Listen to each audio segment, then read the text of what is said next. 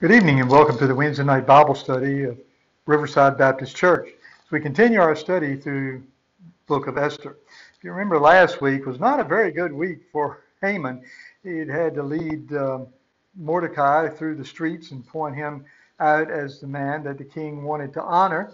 And uh, if things couldn't get any worse, uh, he was invited to the second banquet with the queen, uh, thinking that he was going to receive some special honor, and boy, he did uh, the queen threw him under the bus as she said, He's the man who's plotting against my people and against me and uh, wants to annihilate us. The king was furious, and if you recall, Haman was hung on the gallows that he had prepared for Mordecai.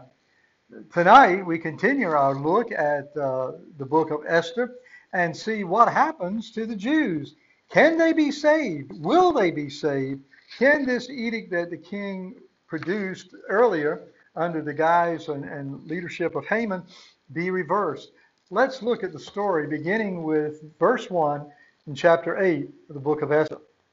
On that day, the day that Haman had uh, been put to death, on that day, King Ahasuerus gave Queen Esther the house of Haman, the enemy of the Jews.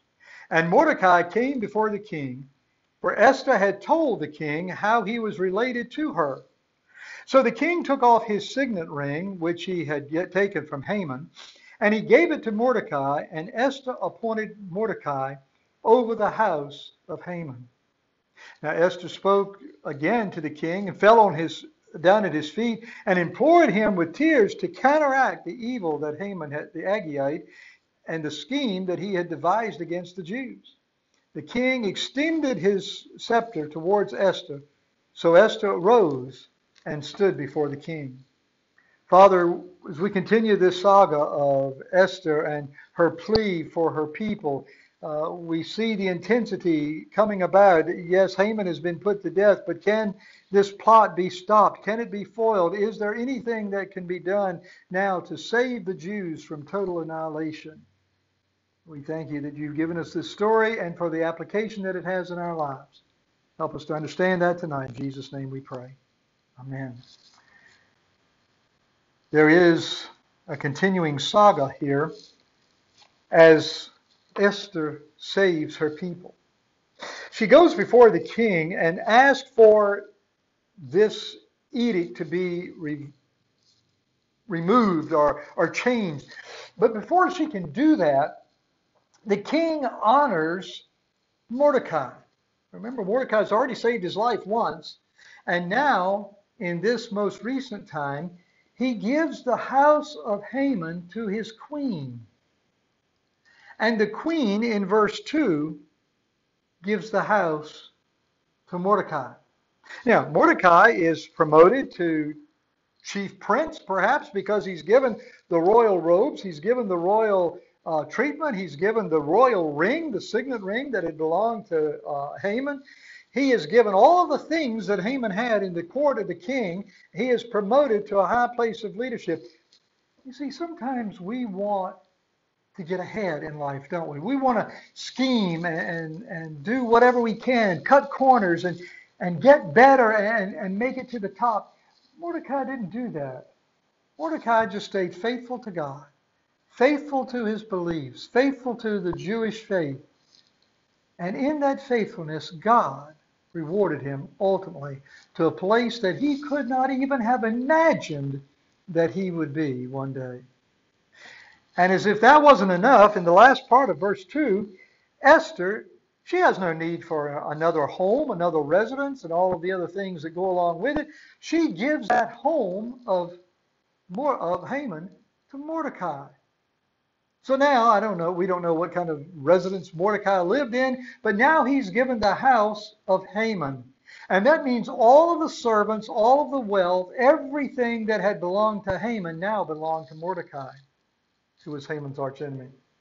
If you recall back in chapter 3 when we were looking at this plot unfolding and Haman coming before the king, he says to the king, There are a group of people who want to annihilate you, that want to uh, disobey all of your rules. That was a lie. But he brought about this plot to destroy the Jews, and he says, If the king pleases to do this, I will give the king 10,000 talents of silver. Well, we're not exactly sure uh, what amount of silver that was in today's uh, funding. Uh, we do know it was quite a lot of money. Some have estimated that 10 talents of silver would have been equal to about 75 tons of silver today.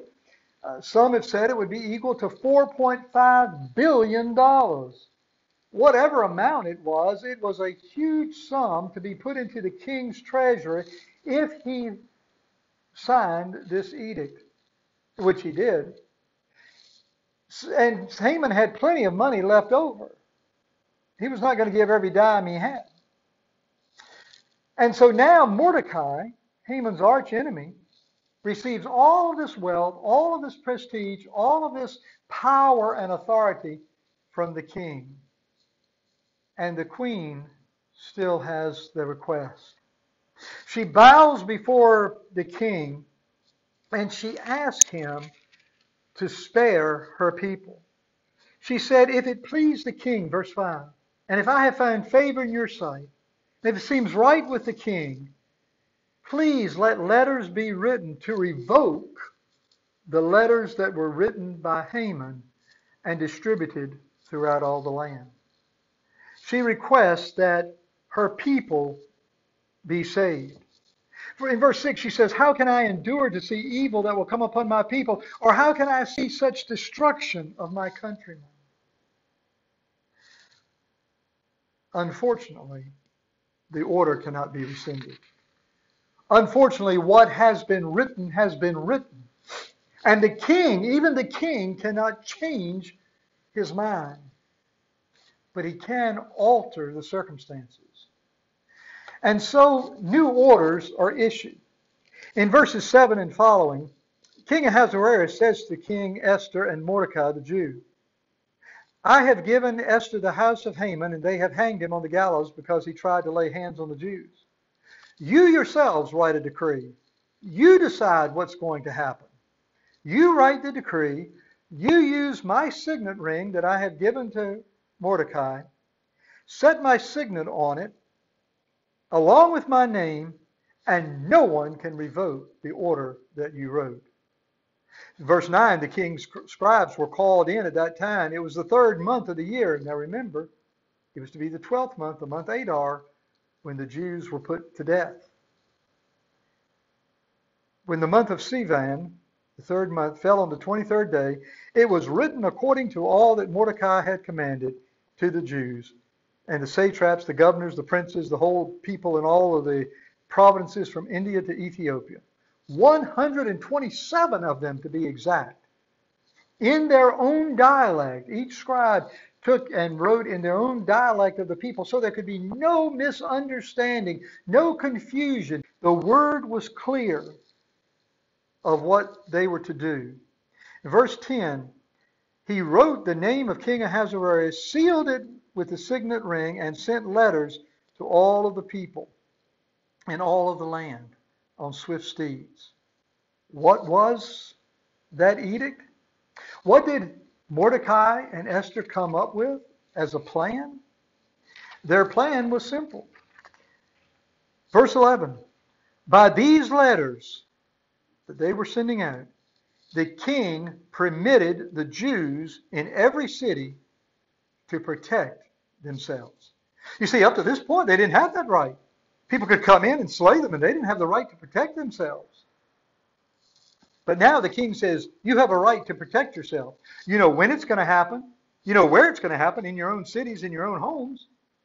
You have a right to protect yourself. And it went on to say, to destroy, to kill, to annihilate all of the forces of the people of the province who would assault the Jews, the children, and the women, and to plunder their possessions.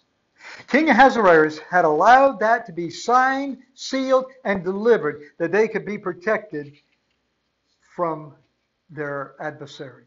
They had the right to kill everyone in their province. A copy of the document, verse 12 say, uh, verse 13 says, was issued and a decree was given to every province published to all the people in all the lands that they could avenge themselves. The couriers who rode on royal horses, went out and hastened, and pressed by the king's command, the decree was issued in, from Shushan, the citadel, out through all the provinces. They had time to get there and begin the process of defending themselves. They were told that they could do this. And in verse 15, Mordecai went out from the presence of the king in royal apparel, dressed in blue and white with a great crown on his head. Can't you imagine what Haman would have loved to have been arrayed in? This is what he wanted. This is what Haman wanted for himself the royal garments, the crown on his head, the royal steed, the linen and purple garments of, uh, uh that were a fine linen. That's what Haman wanted. But now Haman's swinging from a gallows. And Mordecai has received the honor. And the Jews had a light and glad spirit among themselves. And in all of the provinces under the king's command, where the decree was heard, the Jews began to celebrate the fact that they could now defend themselves. The spirit of gloom and despair had now turned into a spirit of celebration and joyfulness because the people realized their enemies might be after them, but they had God on their side. They had the right to defend themselves. Just remember, regardless what happens, there can be celebration in our life. There can be that joyous time of celebration as we trust God working in our life. You know, I love it when a plan comes together. In the 1980s TV show, The A Team, a group of misfits, uh, individuals running from the law themselves for crimes that they had not committed, formed together a group of men who fought against evil and may have been uh, kidnapping someone who had been previously kidnapped and saving their life or, or some other exploit, but it was an, a time of intrigue and involved all kinds of shenanigans that they went through and, and displaying different people. But at the end of the program, Hannibal Smith, who was the leader of the A team, always was smoking his cigar and he would say, I love it when a plan comes together. You know, I love it when God's plan comes together. We could have tried to write a saga about Haman and Mordecai and Esther and figure out how all of this was going to come out. But none of us, I don't believe, could have come up with a, an ending or a near ending, the story hasn't ended yet, that would match what God has done. And so I want you tonight to take away from this study the fact that regardless of what situation you may be in right now, what you may be facing, just know God is still in control we're in some strange and difficult times. I, I'm 69 years old. I've never seen anything like what we're going through now. Stores still under limited occupancy, and there's still things we can't do, and uh, wondering what the uh, COVID-19 is going to be tomorrow, if we're going to go back into quarantine and having to wear the mask. And, and they're very frustrating. I understand that. Uh, I don't like wearing those masks. Every time I put one on, I have a choice to make. I can either breathe or I can see because they fog up my glasses. And I kind of like doing both. But it's difficult times. And it doesn't matter whether it's the COVID 19 that is your problem or difficulty or a problem with a neighbor, friend, family member, or someone else. Whatever you're facing right now, it could be a health issue. Remember, God is still in control. He has never been out of control. God understands. God knows what you have need of, and He's on your side. He wants what's best for you. And just like Esther and Mordecai trusted God, will you trust Him? Will you allow Him to work in your heart and your life today? Next time, we're going to see the conclusion of this story. Were the Jews able to protect themselves? Were any of them, and if so, how many of the Jews were annihilated during this process? Were the Persians running in fear? Or did they suffer harm and danger? How does the story end? We'll find out next week. Father, thank you for your blessings, your watch care, and the understanding that you are still in control. You have always been in control. You have never been out of control. So help us to rely on you. Turn all of our burdens, all of our problems, all of our difficulties over to you. And let you work in our hearts and lives. In Jesus' name we pray. Amen. God bless you.